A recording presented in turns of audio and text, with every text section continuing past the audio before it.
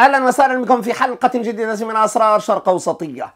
رفعت إسرائيل مشاركتها في فالكون اي عين الصقر في هذه المناورات العسكرية بإيطاليا بصقليه في إيطاليا إلى 300% وتجرأت إسرائيل لأول مرة أن تكون مناوراتها تشمل ليبيا وهذا ما دفع مباشرة إلى اجتماع ما بين تركيا وما بين كل من بريطانيا وإيطاليا بهذا الخصوص حول أهمية أن تكون هناك أجندة وأن يكون هناك سقوف لكل عملية عسكرية ومناورات موجهة بالأساس إلى ليبيا. غرب ليبيا ليس شرقها ببساطة شديدة وأن التواجد الإسرائيلي غير مرغوب فيه بهذه الكيفية على الأقل بالنسبة لكل شعب ليبيا. هذا الذي يمكن إيصاله في اجتماع آكار وغريني وأيضا ولاس آه البريطاني. وهذا الاجتماع وهذه القمة بين وزراء الدفاع في كل من بريطانيا وتركيا وإيطاليا تهدف مباشرة إلى استحضار أمرين أساسيين. اولا بالنسبة لتركيا وإرثها وإيطاليا وإرثها في ليبيا الاستعماري طبيعي جدا وبالنسبة لبريطانيا وحدودها وتواجدها في منطقة المتوسط وعلى وجه التحديد في قبرص. يعني أن الأمر يتعلق مباشرة بأمن هذه الدول وأمن مصالحها التاريخي من جهة وأيضا الاستراتيجي والجيوسياسي الحالي إذا هذا الذي دفع مباشرة إلى رغبة تركيا في دفع الطرفين معا البريطاني والإيطالي من أجل وقف هذه العمليات اليوم التي أصبحت هناك 17 عملية بالنسبة للآف 16 في سماوات ليبيا. لقد استباحت إسرائيل ليبيا بالكامل. هذا هو التطور الجوي الذي لا يمكن معه إلا القبول بفهم اولا كيف يرسم الإسرائيليون أمنهم الآن. اولا أن مساس حماس بحقل تمار ووصول لغمها أو غواصتها الصغيرة إلى ضرب هذا الحقل هذا الذي جعل مباشرة أن هناك ضوء أخضر إقليمي بهذا الخصوص لأن لا أحد ندد به. والمسألة الثانية أن رغبة إسرائيل في الرد ستكون بطبيعة الحال في هذه المنطقة على وجه التحديد وفي ليبيا على وجه أخص.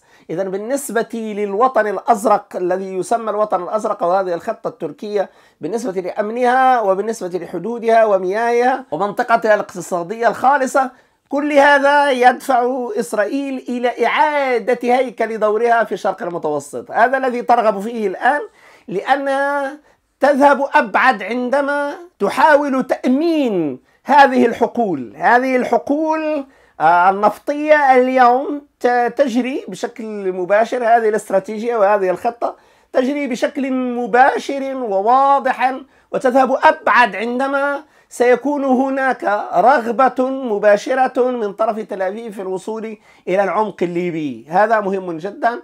الشاطئ الليبي الآن تحت طيران إسرائيل في العمق. هذا الذي يجب التأكيد عليه من جهة من جهة ثانية. فإن مدى ما حدث للشالوم شبات بالنسبة لهذا الوضع للجيش الإسرائيلي خصوصا في صقلية ومحاولة الموساد الإسرائيلي ترويج صور خصيصا لشلوم شبهات في هذه النقطة على وجه التحديد. وهذا الارتفاع الكبير في المشاركة كل ذلك لإرسال رسالة أن إسرائيل لديها لديها مصلحة في ليبيا. ويجب أن تدافع عنها. المسألة لا تتعلق ببريطانيا أو بإيطاليا أو تركيا إنما بالمصلحة الإسرائيلية هناك. هذا الذي يحاول الإسرائيلي هندسته في الخارطة الجديدة. لأن مهم جدا اليوم هو هذا الذي يحاول الأتراك الوصول إليه وترسيم المياه مع فلسطين ومع غزة. المسألة الثانية أن هناك رغبة من الاتجاه الآخر بالعمل إلى جانب اليونان. اليونان اليوم مهمشة. لأن البريطانيين والإيطاليين والأتراك دخلوا على خط واحد من أجل قمة ثلاثية آه، تؤكد مدى الإرث التاريخي لما آه، كان عليه الأمر بالنسبة لليبيا. إذا كل هذا يجري أمام بروز ما سمي بالمصلحة الحيوية الإسرائيلية في ليبيا لأول مرة تجاوزا لما حدث ما بين صدام حفتر في مفاوضاته مباشرة مع الموساد الإسرائيلي. وفي العاصمة روما. هذا لا نتحدث عنه ولا نتحدث بالطائرات التي نشرنا صورها بالكامل. ما هي الطائرة التي أخذها صدام حفتر وأتى بها إلى بنغازي انطلاقا من إسرائيل؟ كل هذا معروف لكن اليوم هناك رغبة إسرائيلية مباشرة بالقول أن هناك مصالح حيوية إسرائيلية في ليبيا وفي بترول ليبيا وهذا الذي يجعل الأمور بالنسبة للقوى الثلاث الإيطالية والبريطانية والتركية تعيد ترتيب أوراقها من جهة. ثانيا أن هناك إبعاد للقوى الأخرى التي تحاول جهد الإمكان أن تلعب بالورقة اليونانية. ونقصد تماما ماكرون وفرنسا. إذا هذه هي اللعبة التي يرغب الأتراك في أن يذهبوا أبعد إلى تواجد وزير الداخلية ووزير الخارجية ووزير الدفاع ورئيس آه، الاستخبارات. كل هذا في ليبيا.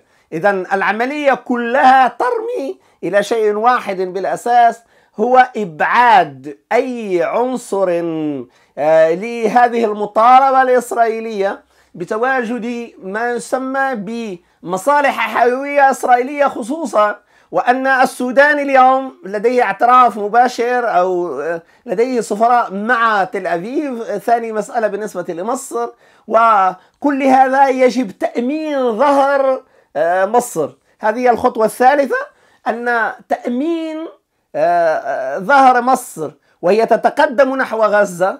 فلا بد أن هذه المساعدة التي تقدم الآن وتعمل نحو الاستقرار المزيد من الاستقرار في غزة في علاقتها بالكيان سنجد من يحمي ظهر مصر خصوصا بالنسبة لغرب ليبيا. فلا تهديد اليوم من طرف غرب ليبيا لأن هناك آه، دور أساسا بالنسبة لإسرائيل في شرق ليبيا. وهذا الذي يعمل عليه الكثيرون. وبالنسبة لحفتر نفسه آه، لا يرغب بالشكل الكافي في هذه المغامرة لصدام حفتر لكن صدام حفتر ذهب بعيدا في العلاقة مع إسرائيل وهذا وفقد التوازن كثيرا بالنسبة لمثل هذه الخطوة. لكن بالنسبة للإسرائيلي فهو يرى أن العملية كلها بحيرة آه، بحيرة النيل أولا حسم فيها الإسرائيلي.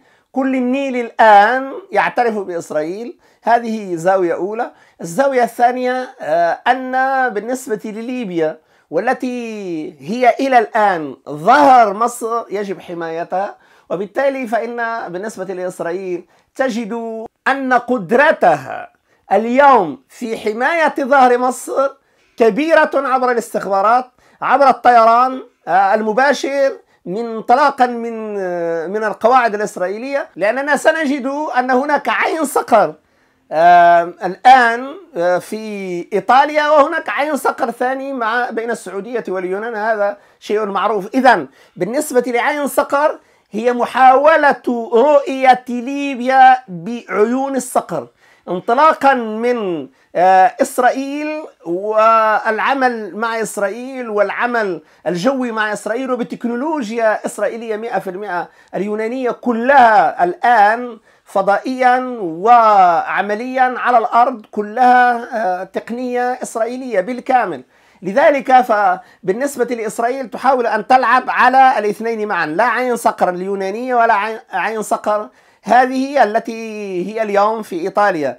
وهذه هي اللعبة أو أو الحساب الرابع الذي يحاول الإسرائيلي من خلاله النفاذ بشكل كامل إلى ليبيا. وهذا ما يعني مباشرة أن هناك رغبة تركية في إعادة رص الأوراق والصفوف من جهتين لإبعاد هذا التأثير الكبير الإسرائيلي على المنطقة وعلى ليبيا على وجه التحديد. لأن الوصول إلى مكتبين استشاريين واحد للمصاد الإسرائيلي بالنسبة للعمليات وواحد للمراقبة. وهذا يعني مباشرة أننا أمام تطور غير مسبوق بالنسبة لتواجد إسرائيلي كامل في شرق ليبيا وهذا الذي يرفضه الأتراك إلى حدود اللحظة لأن هذا التمدد يعني تمددا مدعوما من الفرنسيين مدعوما من اليونانيين ولكنه يجب أن يهمش من الإيطاليين آه، اولا ومن البريطانيين ثانيا وهذه هي اللعبة